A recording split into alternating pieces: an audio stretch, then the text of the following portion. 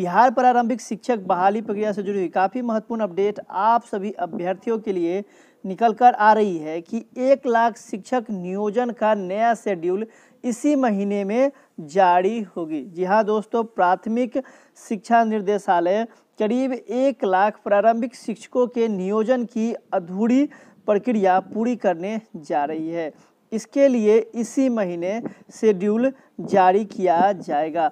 इससे पहले शिक्षा विभाग विभिन्न तकनीकी मुद्दों पर विश्लेषण भी करेगा। इसके लिए वित्त विभाग की राय भी ली जा सकती है। प्राथमिक शिक्षा निर्देशक डॉक्टर रंजीत कुमार सिंह ने साफ़ कर दिया है कि एन आई वाले अभ्यर्थियों को लेकर एनसीटी से लेटर जो है आ चुकी है। कुछ अन्य तकनीकी मुद्दों पर निर्णय लेने के बाद बहाली के लिए नए शेड्यूल जो है जारी कर दिया जाएगा। ये स्टेटमेंट जो दी गई है और कही जा रही है, दोस्तों, ये कहाँ तक सफल हो पाता है, आने वाला समय ही बताएगा कि क्या होगा। जैसा कि आप सभी जानते हैं कि 2017 से ही ये स्टेटमेंट अभ्यर्थी सुन रहे हैं कि बिहार प्रारंभिक शिक्षक बहाली प्रक्रिया पूर्ण होगी, कब पूरा होगी, इसको कोई नहीं जानता है। सिर्फ़ और सिर्फ़ शिक्षा विभाग ही जानती है कि प्रारंभिक शिक्षक बहाली प्रक्रिया संपन्न करानी है या आधार में इसे लटका के रखना है। बिहार टीईटी 2017 उत्तीर्ण अभ्यर्थी जो है 2017 से ही इंतज़ार कर रहे हैं कि उनकी बहाली की प्रक्रिया संपन्न होगी।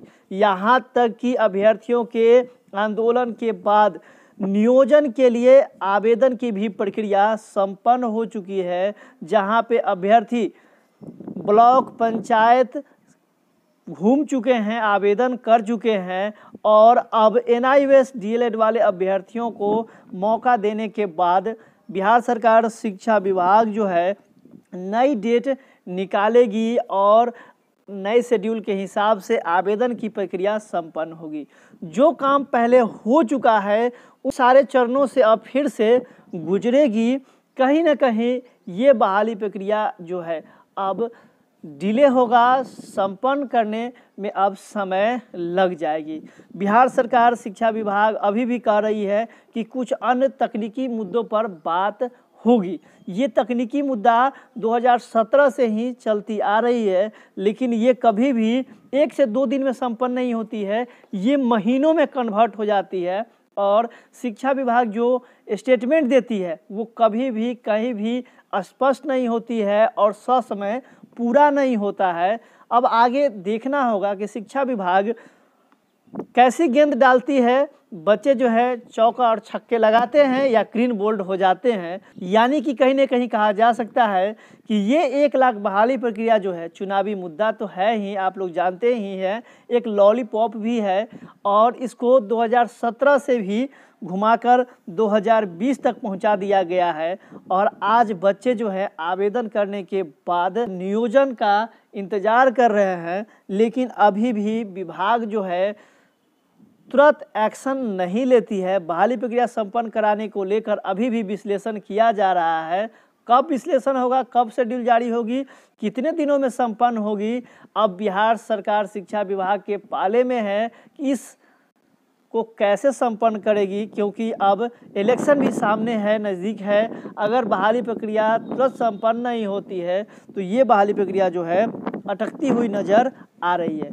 वहीं पे एक लाख शिक्षक बहाली प्रक्रिया को लेकर प्रत्येक दिन न्यूज़ में भी रहता है कि बिहार में शिक्षकों की बहाली हो रही है, लेकिन आज तक एक भी शिक्षक की बहाली नहीं हुई है। 2017 के बाद और प्रत्येक दिन आपको पेपर में देखने को मिलेगा, कभी बत्तीस हज़ार, कभी सैंतीस हज़ार, कभी एक लाख, कभी दो लाख। कभी बहाली नहीं होगी। इस तरह की अपडेट आप लोग को देखने को मिलता है। इस प्रक्रिया जो है कैसे संभव होगी, कब तक होगी शेड्यूल कब तक निकलेगा? स्टेटमेंट दी गई है कि इसी महीने में जारी कर दिया जाएगा।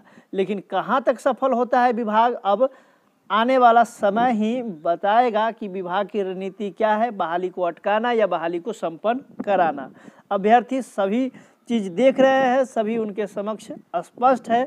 2017 से अभ्यर्थी जो है, शिक्षक नियोजन का इंतज़ार कर रहे हैं और बिहार सरकार शिक्षा विभाग जो है, कोई भी स्पष्ट साफ़ सुथरी एक रणनीति पर नहीं उतरती है और न गाइडलाइन जारी करती है।